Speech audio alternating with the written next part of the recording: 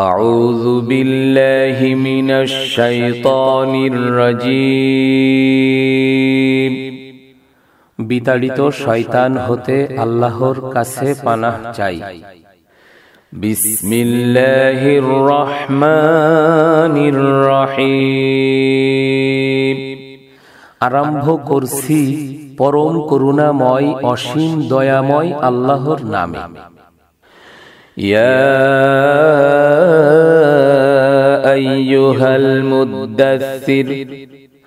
ওহে বস্ত্র আবৃত ব্যক্তি ওঠো সতর্ক করো। আর তোমার প্রতিপালকের শ্রেষ্ঠত্ব ঘোষণা করো। ওয়াসিয়া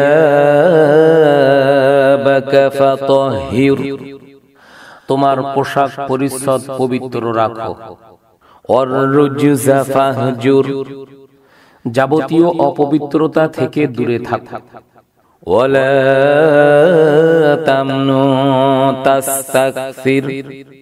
কারও প্রতি অনুগ্রহ করো না অধিক পাওয়ার উদ্দেশ্যে। তোমার প্রতিপালকের সন্তুষ্টির জন্য ধৈর্য ধরো। فإذا نقر في الناقور যেদিন সিংগাই ফু দিয়া হবে فذلك يومئذ يوم عسير সেদিনটি হবে বড়ই কঠিন দিন على الكافرين غير يسير যা কাফেরদের জন্য মোটেও সহজ নয় দারুনি ওয়ামান খলাকতু ওয়াহিদা ছেড়ে দাও আমাকে যাকে আমি এককভাবে সৃষ্টি করেছি وجعلت له مالا ممدودا আর তাকে অর্থাৎ ওয়ালিদ বিন মগিরাকে দিয়েছি অঢেল ধন সম্পদ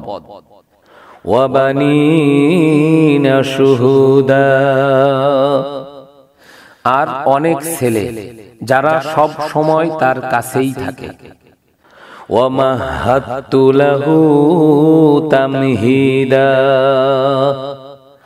এবং তার জীবনকে করেছি সচ্ছল ও সুগম ثم يطمع أن أزيد এরপরও সে লোভ করে যে আমি তাকে আরও দেই।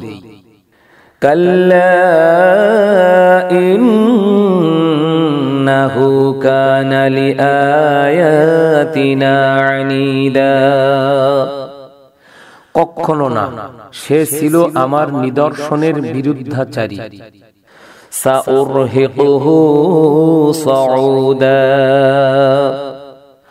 শীঘ্রই আমি তাকে উঠাবো শাস্তির পাহাড়ে। অর্থাৎ তাকে দিব বিপদের উপর বিপদ।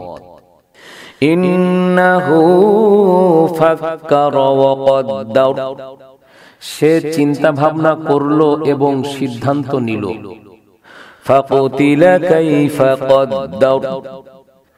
ধ্বংস হোক সে। কীভাবে সে কোরআনের অলৌকিকতা স্বীকার করার পরও কেবল অহমিকার বশবর্তী হয়ে নবুয়াতিকে অস্বীকার করার সিদ্ধান্ত নিল।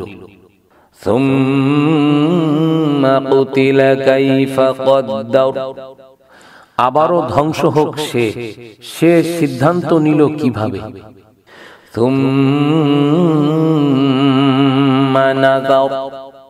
তারপর সে তাকালো।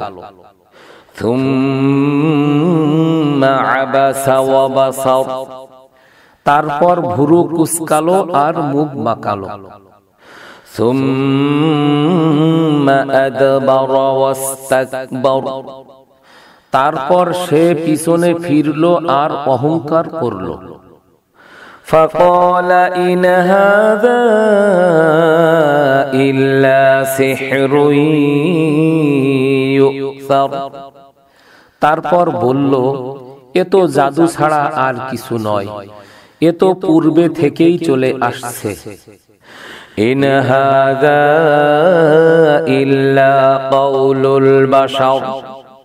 এটা তো মানুষের কথা মাত্র।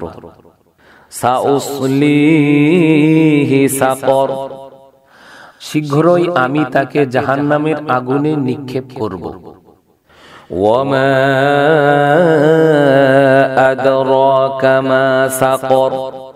তুমি কি জানো জাহান্নামের আগুন কি?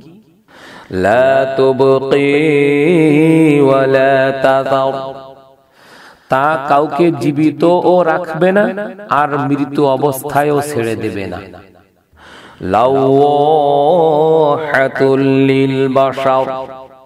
চামড়া ঝলসে দেবে। আলাইহা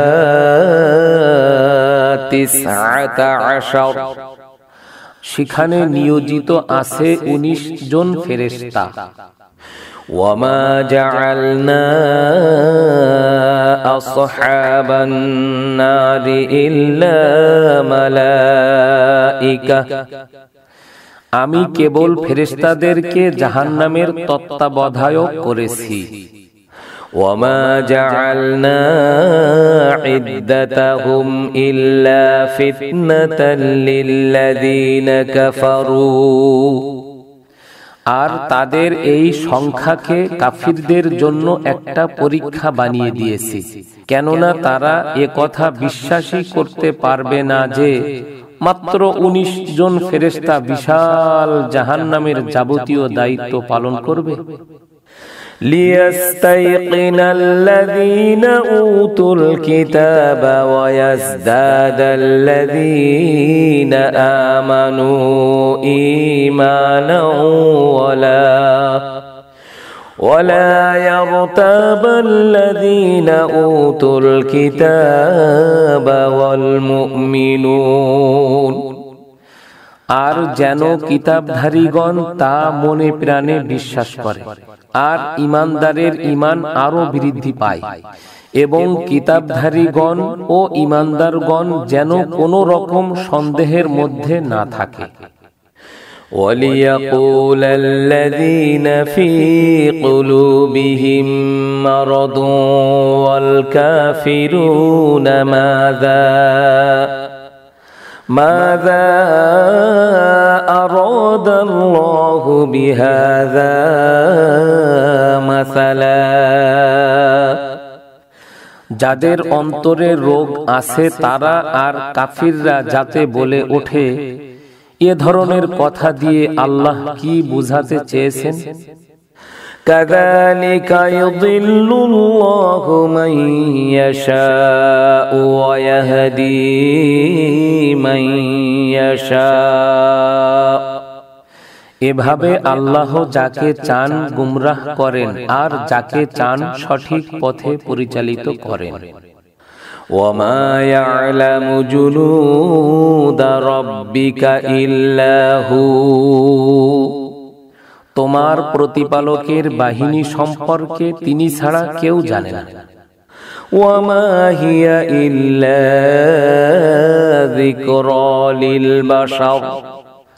জাহান নামের এ বর্ণনা দেয়া হল কেবল মানুষের নসিহত লাভের জন্য।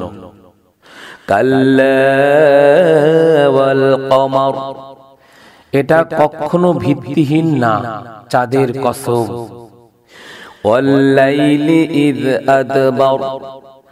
রাতের কসম যখন তার অবসান হয়।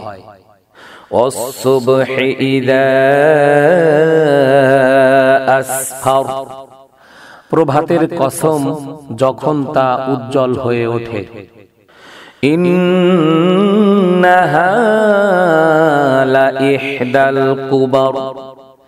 এই জাহান্নাম বড় বড় বিপদগুলোর একটি।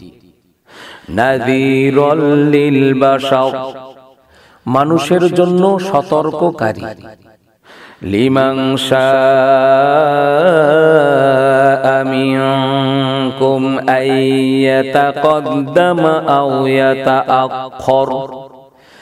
তোমাদের মধ্যে যে কল্যাণের পথে এগিয়ে যেতে চায় অথবা পেছনে পড়ে থাকতে চায় তার জন্য। কুল্লু নাফসিন বিমা কাসাবাত রহিনা। প্রত্যেক ব্যক্তি নিজ কৃত কর্মের দায়ে আবদ্ধ।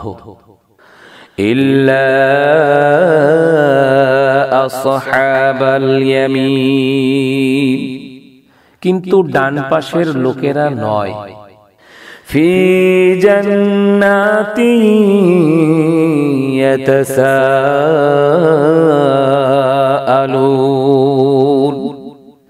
তারা থাকবে জান্নাতে। তারা পরস্পরকে জিজ্ঞেস করবে। আনিল মুজিরিমি অপরাধীদের সম্পর্কে। মা সালাকা কুমফি সাকর। কিসে তোমাদেরকে জাহান্নামে নিয়ে গেছে?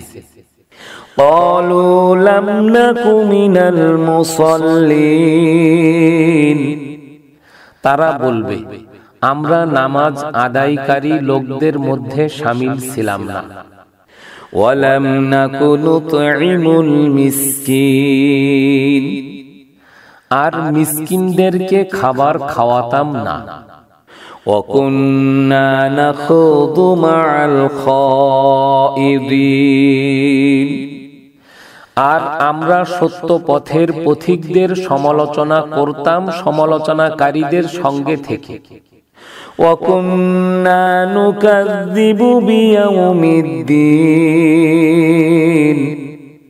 আমরা প্রতিফল দিবসকে অস্বীকার করতাম। হাত্তা আতানাল আমাদের নিকট নিশ্চিত বিশ্বাস অর্থাৎ মৃত্যু না আসা পর্যন্ত فما تنفعهم شفاعة الشافعين তখন সুপারিশকারীদের সুপারিশ তাদের কোনোই কাজে আসবে না فما لهم عن التذكرة معرضين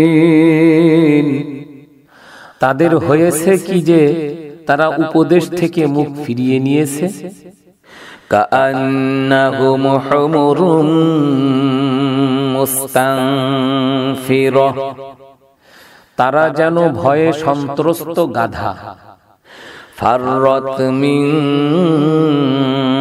قسورة সিংহের সামনে থেকে পালাচ্ছে بل يريد كل امرئ منهم أن يؤتى صحفا منشرة বস্তুত তাদের প্রত্যেকেই চায় তাকে আল্লাহর পক্ষ থেকে খোলা চিঠি দেয়া হোক এই মর্মে যে তোমরা এই নবীকে মেনে নাও كلا بل لا يخافون الآخرة না তা কখনো হতে পারে না বরং কথা এই যে তারা আখিরাতকে ভয় করে না كلا إنه تذكرة না তা হতে পারে না এটা অর্থাৎ কোরআন সকলের জন্য উপদেশ বাণী فمن شاء ذكره এর থেকে যার ইচ্ছা সে শিক্ষা গ্রহণ করুক وما يذكرون إلا أن يشاء الله هو أهل التقوى وأهل المغفرة আল্লাহর ইচ্ছে ব্যতীত কেউ উপদেশ গ্রহণ করবে না তিনিই ভয়ের যোগ্য তিনিই ক্ষমা করার অধিকারী আমান্তু বিল্লাহ